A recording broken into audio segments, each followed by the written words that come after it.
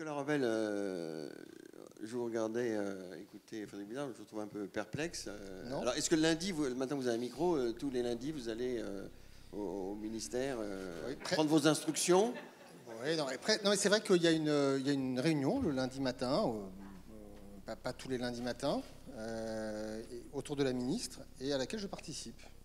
J'en suis très heureux parce que moi je considère que dans notre gouvernance complexe, c'est très important qu'il y ait euh, une capacité de dialogue, euh, de calage entre euh, les différents éléments de cette régulation, puisque vous savez que la régulation du système de santé, il s'opère à la fois par des leviers tarifaires entre les mains de la ministre, d'autres leviers entre les mains de l'assurance maladie. On reproche très souvent à notre système d'être de ce point de vue bipolaire, insuffisamment coordonné, et ça me paraît sain euh, qu'on ait ce type de réunion euh, permettant de nous caler. Et puis moi, par ailleurs, assurance maladie, ça m'intéresse de savoir ce qui est à l'agenda du ministère, et donc cette réunion, de ce point de vue-là, est très utile. Alors, dans votre rapport produits et charges de juillet, comme chaque année, on a l'impression que vous, prenez- vous voulez prendre à bras de corps euh, les innovations, euh, vraiment mobiliser les professionnels de santé.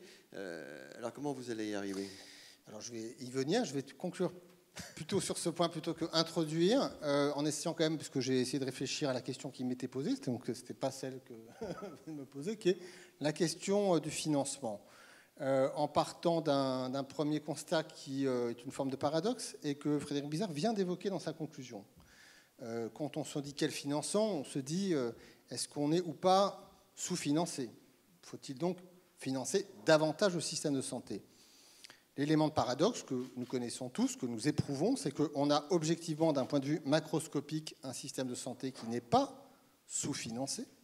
Parce que quand on est à 11% du PIB, on se situe précisément parmi, euh, en dehors des États-Unis, euh, des premiers pays OCDE en termes de dépenses de santé.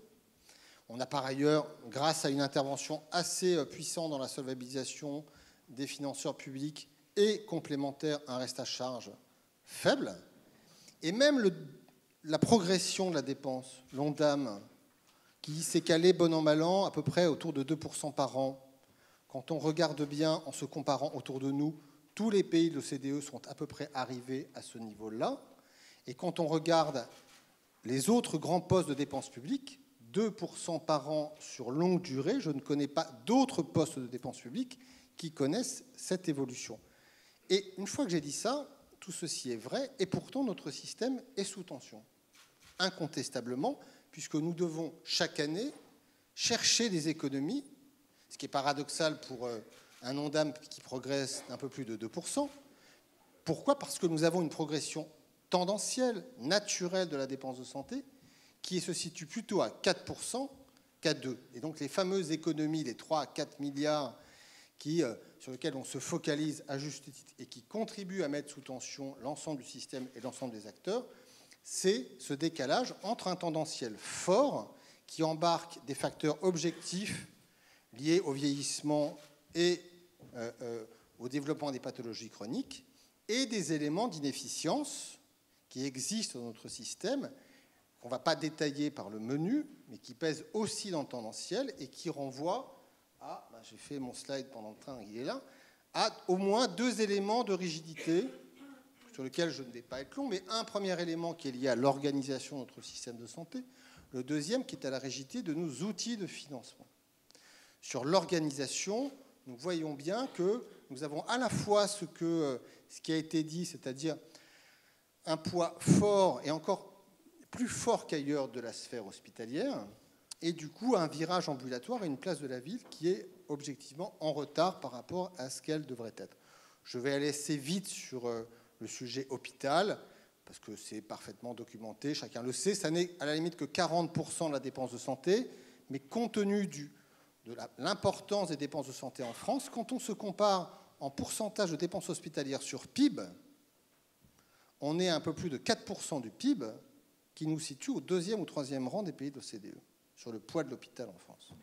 Et cet hôpital, il maintient sa place d'autant plus que s'il y a eu un virage ambulatoire, il s'est fait à l'hôpital davantage que vers la ville. Parce que quand on regarde les fondamentaux de l'hôpital, c'est à la fois des capacités en court séjour qui ne se réduisent plus, vraiment depuis euh, une dizaine d'années, et une DMS qui, elle, est objectivement une des plus faibles des pays de l'OCDE. Donc, un hôpital performant qui maintient son agilité, s'organise, on reviendra sur les GHT, et une ville, deuxième élément, qui pour le coup n'a pas suivi, ne s'est pas organisée et n'est donc pas capable d'accompagner le virage ambulatoire jusqu'au bout, c'est-à-dire dans le fait qu'on puisse prendre en charge davantage à domicile des patients lourds et complexes qui aujourd'hui se situent euh, dans des schémas d'hospitalisation. Vous déplorez l'agilité de l'hôpital ou vous regrettez que les médecins libéraux n'aient pas... Je fais un constat qui me laisse penser, j'y reviendrai, que là, le cap sera de permettre au virage ambulatoire d'aller plus loin, parce que quand l'hôpital fait son virage ambulatoire quelque part, il nous coûte un peu moins cher, parce qu'une hospitalisation de jour ou de la chirurgie ambulatoire, c'est efficient. Mais il faut maintenant, j'y reviendrai, aller au bout du virage ambulatoire, qui est le virage ambulatoire du domicile, vers la ville. Et là, pour cela, il va falloir évidemment relever le pari, le défi de l'organisation des soins de ville. Deuxième élément de rigidité, nos outils de financement. Nous avons aujourd'hui une rémunération qui est évidemment construite historiquement sur la prédominance, de la rémunération individuelle et de la rémunération euh, à l'acte, qui s'est d'ailleurs euh, euh, a été importée à l'hôpital par la T2A sur la tarification au séjour. Ça a une vertu incontestable, c'est que c'est un système de rémunération qui favorise la productivité. Et on a besoin de productivité. Donc il ne faut jamais jeter la tarification à l'acte en expliquant que ça n'a que des défauts. Ça a aussi des vertus. Et ça a un inconvénient évident, c'est que ça pousse au volume. Euh, ça limite notre capacité à construire des actions sur la pertinence. Et enfin, ça entretient l'atomisation de l'offre et le cloisonnement des acteurs. Et enfin, euh, euh, ça, cette course au volume, ça crée aussi cette tension sur les conditions d'exercice, avec des tarifs entre guillemets sous pression et des acteurs, des professionnels qui, pour évoluer, gagner en rémunération, sont amenés à travailler beaucoup, à produire beaucoup de soins, ce qui est évidemment un de nos sujets. Et comme on n'est pas bon par ailleurs dans la limitation des volumes, les instruments de régulation pour faire les fameux 3-4 milliards d'économies que nous devons faire chaque année utilisent beaucoup le levier du tarif, et insuffisamment des actions sur la pertinence qui viennent freiner le volume et quelque part freiner le tendanciel. Et là, je pense que nous avons un, euh, euh, élément de défi. En gros, quels sont à mes yeux les, euh, les défis des prochaines années Le cap, à mon avis, sur lequel il faut essayer de progresser. J'en vois quatre, sur lesquels ensuite, évidemment, je détaillerai parce que c'est ça la vraie question, quels sont les leviers pour y arriver C'est évidemment la coordination euh, des acteurs au sein, entre la ville et l'hôpital et au sein de la ville, ce qui passe pas seulement, mais aussi par des systèmes d'information partagés. C'est l'enjeu de la qualité et de la pertinence des soins et des parcours. C'est l'enjeu de la prévention, troisièmement. Et c'est enfin euh, l'innovation. Je ne les détaille pas, mais je, fais simplement observer à quel point ces quatre objectifs ne sont pas juxtaposés. Ils sont profondément convergents, synergiques, parce que ces quatre objectifs, si nous arrivions à progresser dans cette direction, permettent à la limite de répondre à toutes les difficultés, les tensions. Quand vous avancez dans ces quatre directions, vous améliorez d'abord la qualité des prises en charge des patients. Euh, vous libérez du temps médical vous améliorez les conditions d'exercice. Vous êtes même dans des zones tendues déficitaires, vous, avez une première réponse à la question de l'accès aux soins. Et enfin, au-delà d'accélérer le virage ambulatoire, vous renforcez des éléments de régulation de la dépense qui permettent de jouer davantage sur les volumes que sur les tarifs. Et on est donc dans un cercle vertueux qu'il faut maintenant réussir à euh, euh, euh, faire avancer par quel levier, comment y arriver, c'est la slide normalement suivante. Puisqu'on est dans la question du financement, la question qui vient, c'est la réponse qu'on entend, c'est il faut investir. Pour réussir, pour avancer, il faut investir. Évidemment, il faut avoir les moyens d'investir. C'est toujours une question difficile. Mais au-delà, peut tous souhaiter qu'on puisse investir plus. Évidemment, la question derrière, c'est, admettons qu'on en ait les moyens, faisons en sorte que, comment et sur quoi devons-nous investir? Euh, Moi, je pose une question qui peut apparaître euh, un peu caricaturale. Euh, si nous injections aujourd'hui plusieurs milliards d'euros supplémentaires dans le système de santé, à structure constante, organisation constante, règles de financement et de tarification constantes, pensons-nous que ces quelques milliards de plus permettraient d'avancer dans les directions dont j'ai parlé? Moi, je crois que non. Alors, j'en tire trois principaux axes qui sont normalement détaillés. Première euh, priorité, investir pour avancer euh, dans la voie du virage ambulatoire et d'une meilleure organisation des soins de ville ça suppose, à mon avis, d'investir prioritairement sur ce que j'appelle les structures et les outils. Parce que, euh, au-delà de la rémunération des actes, on voit bien que ce dont les acteurs de la ville ont besoin, c'est de se doter de structures, de moyens humains, techniques, informationnels qui, qui leur permettent d'organiser, de s'organiser et d'organiser la prise en charge des patients complexes dont on souhaite que il puisse être davantage pris en charge Et donc il va falloir du coup se saisir et faire vivre des enjeux liés à la structuration des acteurs. Il y a des objets qui ont été d'ailleurs euh, quelque part créés dans la dernière loi santé. Je pense au CPTS, je pense aux plateformes territoriales d'appui. CPTS, tout le monde connaît, mais enfin, c'est les communautés professionnelles. Qui aujourd'hui sont des objets, je le dis, plutôt virtuels. D'accord? Et l'enjeu va être dans les prochains, prochains temps de faire que ces objets deviennent des réalités. Il y a deux conditions à cela. Une condition, c'est que ces objets ne soient pas des objets qui soient descendants, que ce soit les administrations, les opérateurs, l'assurance maladie, les ARS, qui, entre guillemets, les créent pour le compte des acteurs et des professionnels de santé. Tout l'enjeu va être que ces CPTS, ces PTA soient le fruit des projets, de la mobilisation, des professionnels de santé eux-mêmes, sans quoi je pense que ça ne marchera pas. Pour cela, il faut donc qu'il y ait quelque part à la fois du financement, mais du financement qui vienne des professionnels de santé, parce que quand on finance quelque chose, on le maîtrise, et donc je pense que ces sujets devront être inscrits à l'agenda conventionnel qui régit les rémunérations des professionnels de santé entre l'assurance maladie et nous, parce que c'est une manière, je pense, à la fois de faire décoller ces structures et ces outils, par les médecins, par les professionnels de santé, et non pas par des financements qui viendraient directement d'en haut. Deuxième levier important pour moi, c'est réfléchir à l'évolution de nos modes de rémunération. J'ai parlé de la tarification à l'acte. Je vous ai dit que la rémunération à l'acte avait des vertus. Je pense qu'il faut la tempérer, il faut la diversifier, il faut l'améliorer. On a eu en France des éléments de diversification Chacune de ces nouvelles rémunérations n'a jamais été un long fleuve tranquille. L'arrivée des rémunérations forfaitaires a suscité et suscite encore beaucoup de débats. La ROSP, pareil. Le forfait structure a été plus simple à faire émerger dans la dernière convention. Mais je le dis tout net, l'avenir, ça n'est pas de multiplier ce type de rémunération alternative dans l'idée finalement de faire disparaître la rémunération à l'acte à force de dire faisons plutôt du forfait, faisons plutôt de la ROS. Il faut aussi qu'on réfléchisse à ce que de la rémunération des actes évolue aussi pour prendre davantage en compte des notions d'efficacité, de pertinence, de travail collectif et de qualité des soins. Bon. C'est effectivement des expériences qu'on observe autour de nous. Vous avez parlé de la rémunération de, de l'épisode de soins. Il y a les fameux bundle payments. On en a autour de nous, on en a très peu en France.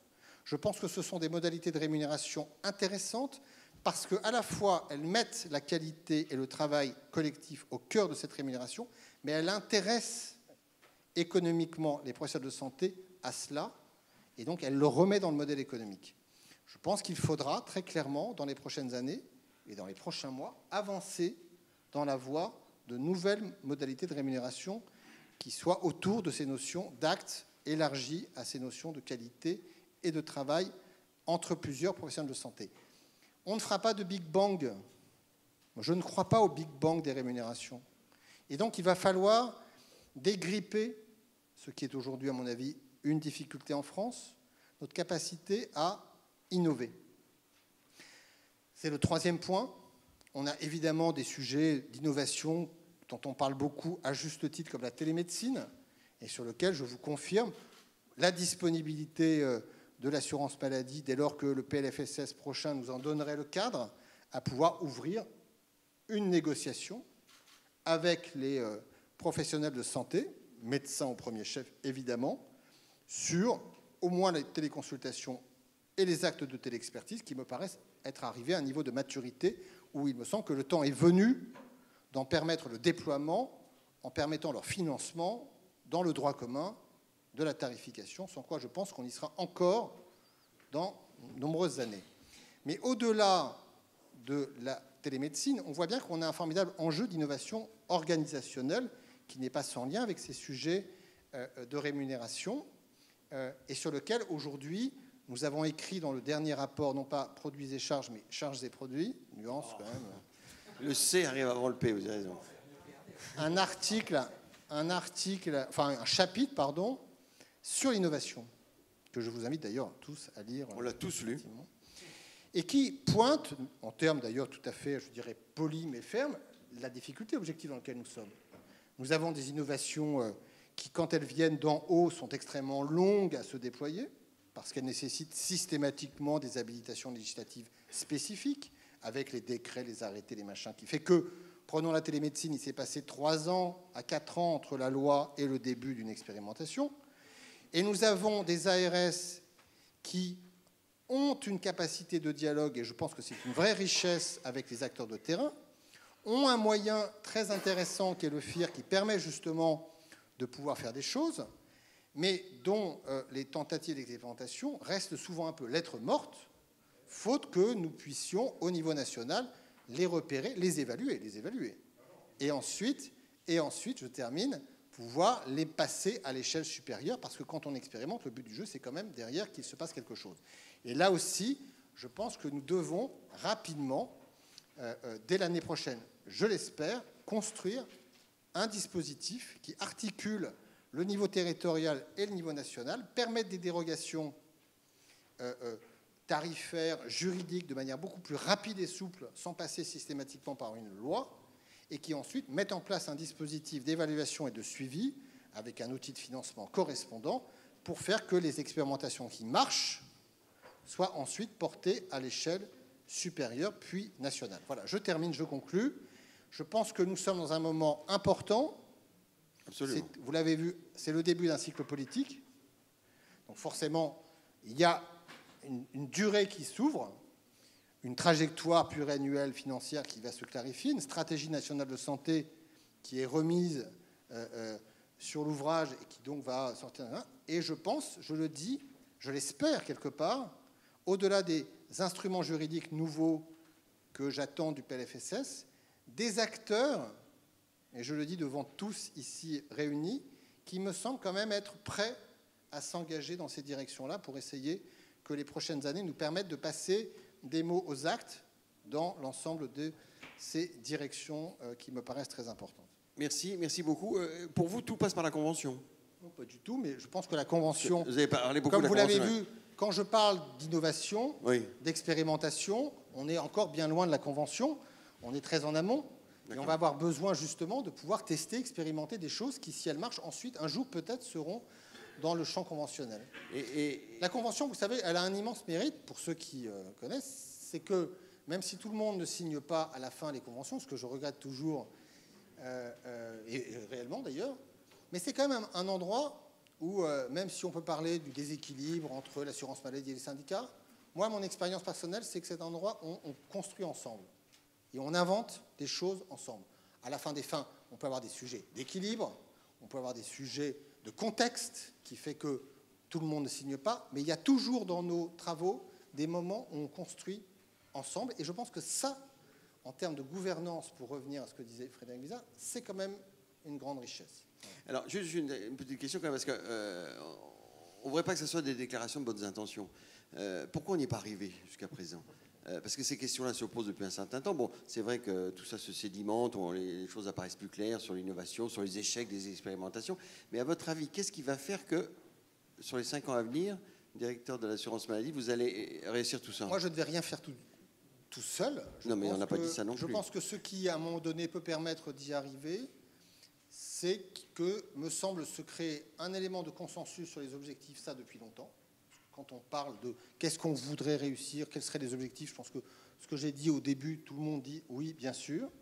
Mais il me semble qu'il y a aussi euh, euh, un cheminement des uns et des autres sur à la fois les leviers et la méthode de travail. Donc euh, j'ai conclu ainsi, moi j'ai l'espérance, mais il y a une part de volontarisme, hein, que nous soyons dans une configuration astrale, mais je ne parle pas que du politique et de l'administration, je parle avec les professions de santé qui fassent que les prochaines années soient des années utiles. Merci beaucoup. Alors, euh, on va... Non, vous applaudir. Hein oui, vous pouvez applaudir.